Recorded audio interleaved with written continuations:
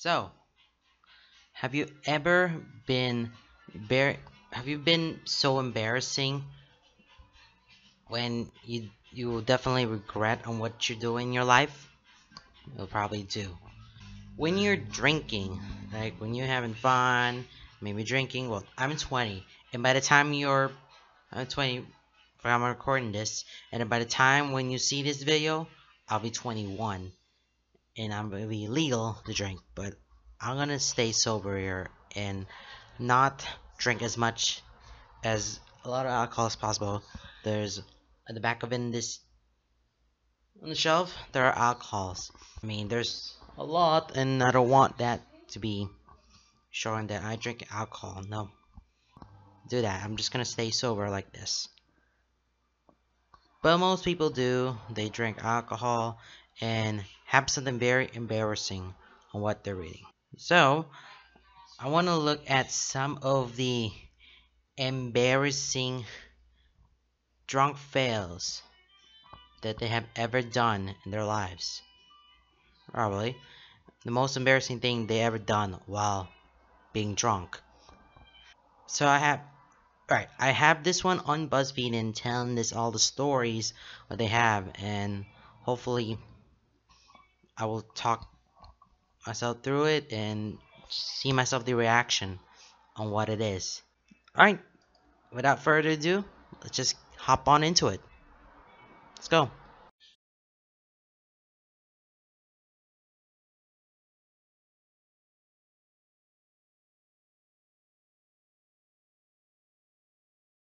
Once I was drunk and walked to my friend's apartment to crash there. The door was unlocked, so I went inside, but no one was home. I noticed the apartment looked different, but thought maybe they redecorated. So I decided to just get in her bed and go to sleep. But I drank so much that I ended up throwing up all over the room. After cleaning myself up and borrowing some clothes from her closet, I finally went to sleep. But when I left the next morning, I found that my friend had been wandering where I was all night. Apparently, the apartment I slept in wasn't hers. Nope, I threw up in a random stranger's room, borrowed in a random stranger's clothes, and fell asleep in a random stranger's bed. Holy hell. What? Oh my god. You have not realizing that you went to your friend's apartment, but not realizing that was the wrong room. You ended up on the random stranger bed and thought it was your friend. It's not. You just sleeping with we just sleeping with a stranger. That is so embarrassing. You just you just slept in a stranger's apartment, not in your friend's apartment. Wow. You a drunk next time you better know your friend, okay? Know who's your friend, who's not. Cause they don't know what they're gonna do to you or anything, but uh, come on, it's so embarrassing. Alright, here's another one. I want, okay, just to be clear, I'm gonna put this one as an anonymous, okay? Even though they do have it. This is a, it's a BuzzFeed community, and they have like username to type out what is their embarrassment. I want to put this one in an anonymous way, okay? So that we don't want to know who this person is, and we just, I don't want to mention to these people, okay? So, don't attack me because I put this one as an anonymous account. Even though it's known, there's a known person, but we just keep it anonymous so that we don't, so I don't want to caught up. Alright, anyways, I was so hammered that I got on top of the bar and jumped off, thinking his really cute guy would catch me. But he turned away the second I leaped and I hit the floor, face first. Ooh, yikes. I'm just gonna jump off and hit off and be in love with this cute guy. And all of a sudden, he got turned, he just turned himself in the way and blam, on the floor, face first. Ouch. That will definitely leave a mark. We went to a fast food drive-thru after too many shots at the bar, and for some reason, I decided to take off my clothes and crawl in the drive-thru window. The manager found me halfway in the window, screaming for chicken strips. Oh my god. uh, Why? Why would you do that? Okay, you're in a fast food restaurant, and you know what? I'm just gonna take out my clothes, and probably seeing me for chicken strips, and just take all your clothes and look at the manager sees the naked them sees this person naked. Why? Why do you take all your clothes? It's the modesty here. And do you remember the no shirts no shoes no service? That applies to this one. Oh that's totally bad. I got blackout drunk and texted a married couple I knew to proposition them for a three-way. But I was so plastered I didn't realize I was actually sending the text to my husband at home. Oh, just text you just texted out to a married couple and not realizing it was your husband. It was somebody else's husband. It was his or her husband. It was her husband texting. Yep, she texted this to her husband. Because we just want thinking about it a three-way. And I know I know what you're talking about. yep, you're drunk and you just texted it to the person that you think we're gonna have a three-way. But not realizing it was her husband. Okay? Seems plausible. My friends and I were screwing around at a truck stop when one of them dared me to strip naked and streak through the trucks. I happily and drunkenly obliged, but as I ran, flapping in the breeze, I accidentally take, trip over some raised concrete and face planted, totally naked, into the cement. Not only did I scratch up my entire face, but everything else in front too. Oh my god. It's just... Hope hopefully your hopefully your nether region doesn't get scratched. Um, oh my goodness, someone dared you to. Alright, let me strip all this. Let me strip all my clothes. Let me take off all my clothes and run like I'm streaking. And then, oop, I trip and bling. Hit myself in the concrete. Face planted while I'm naked. That really hurts. Ugh. That really hurts. I came home plastered one night and decided to make spaghetti. It wasn't until the next morning that I realized I strained the pasta with my pet's dirty pooper scooper, which I thought it was a colander. Ugh. Oh. What in the hell is happening? Alright, alright, let's try to make the spaghetti. Alright, I'm just gonna strain all this pasta with this strainer or the colander. Wait, that's not colander. It's the pooper scooper. Oh, crap. No. Yeah, I was... Ugh. oh, I'm gonna throw up for that. I'm sorry. I was drunk and missing my dad, so I found everyone on Facebook with his name and added them as friends. Oh, that's so funny. They all have like a similar names, and you added every single one of them,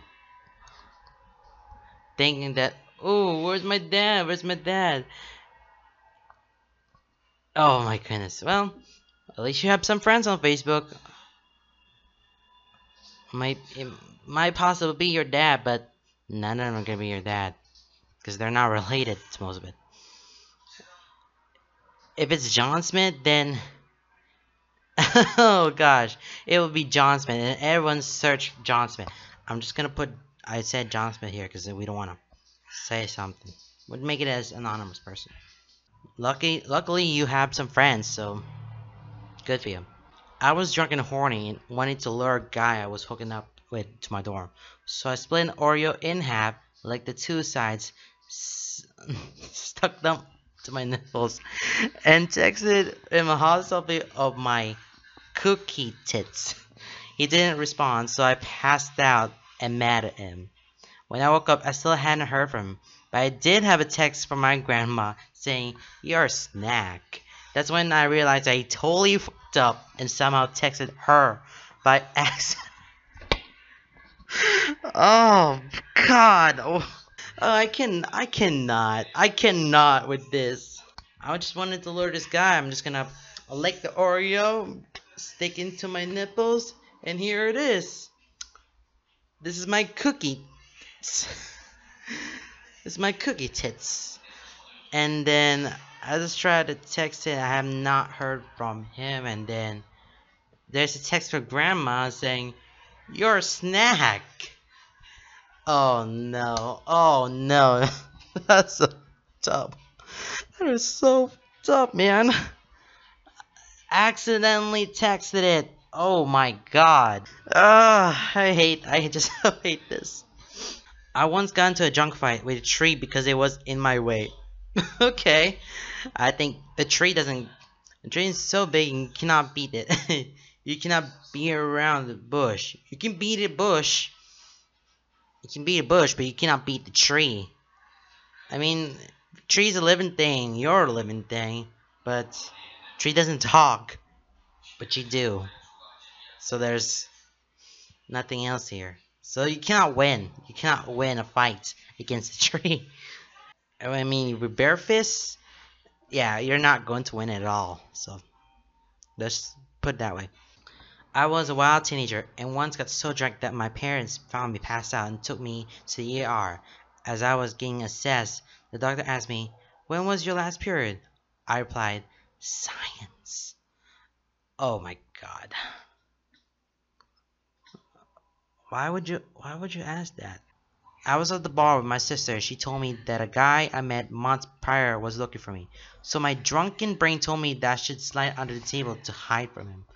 But when I tried to slide, I got stuck between the table and a booth. And my sister had to ask the bouncer to come lift the table to free me. How stupid are you? How stupid are you?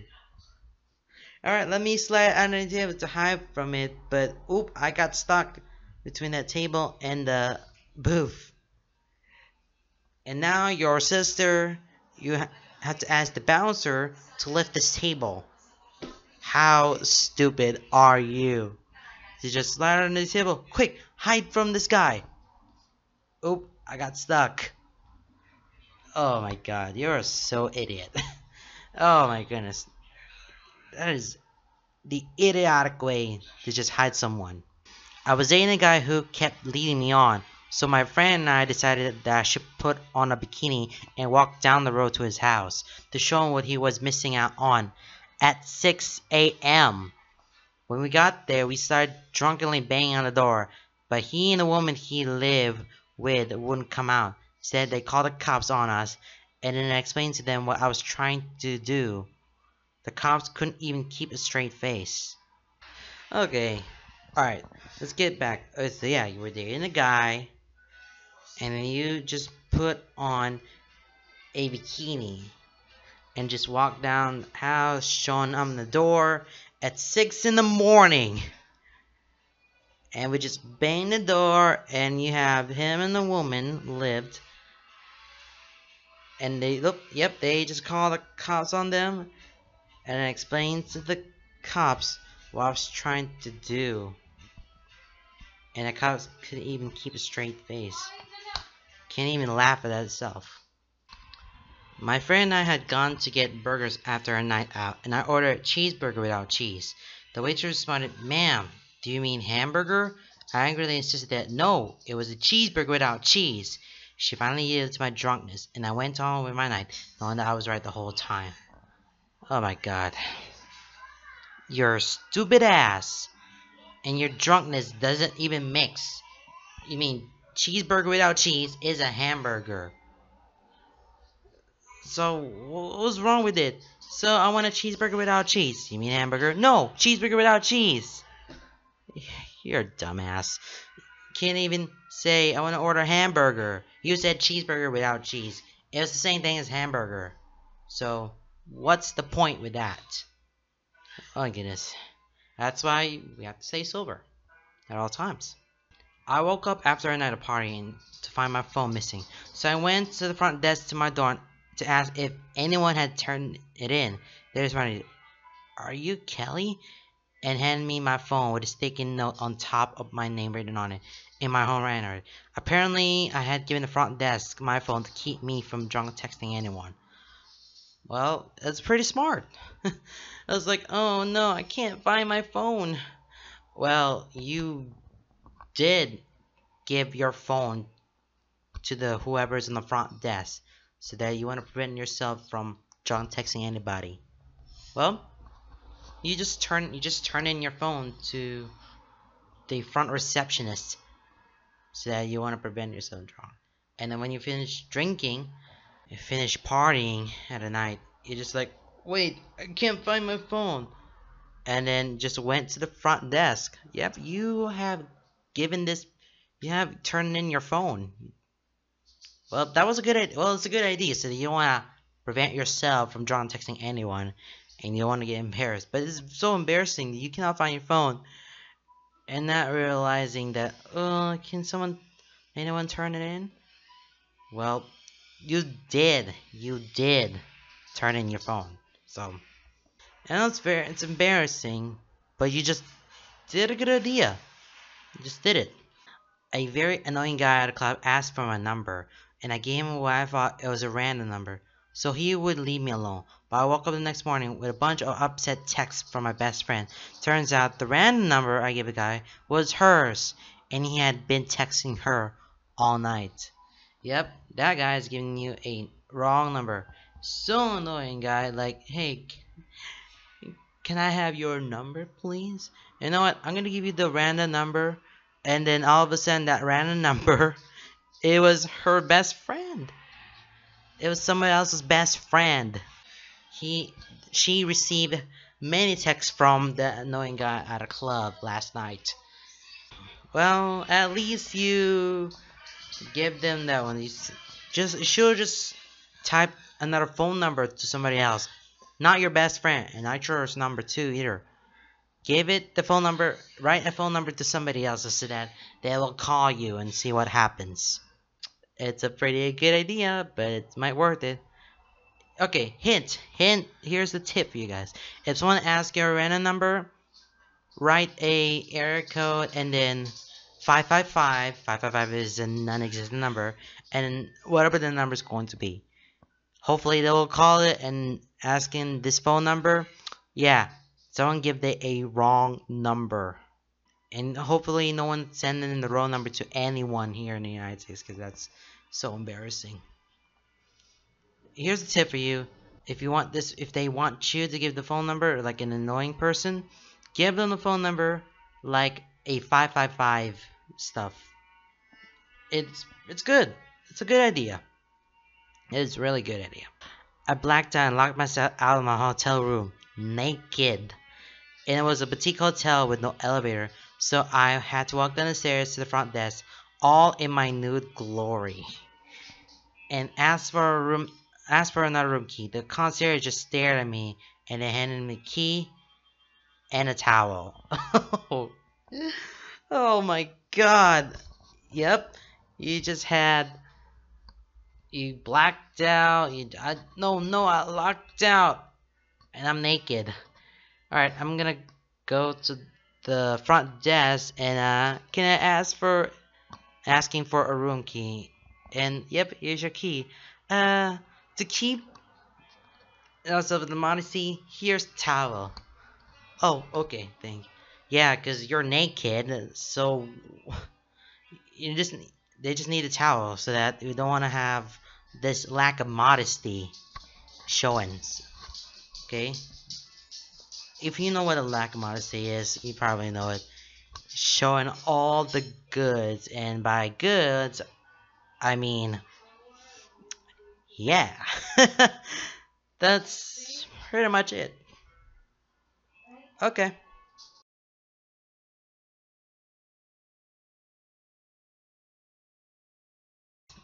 That is pretty the end of this video is going to be, but you see some of these embarrassments here so that you don't want this to happen. I don't want all of that stories to happen to me because I'm 21 and I'm ready to drink and hopefully I don't want to be embarrassing at some of the stupid things that I might be doing. And I just don't want to mess it up, you know. You know what? Be careful and drink drink responsibly. If you don't want to drink, stay sober.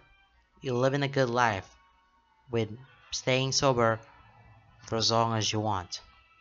Okay? Yeah. That's all I have from this video today and I'll see you guys whatever the next video is going to be. Okay. Goodbye, one.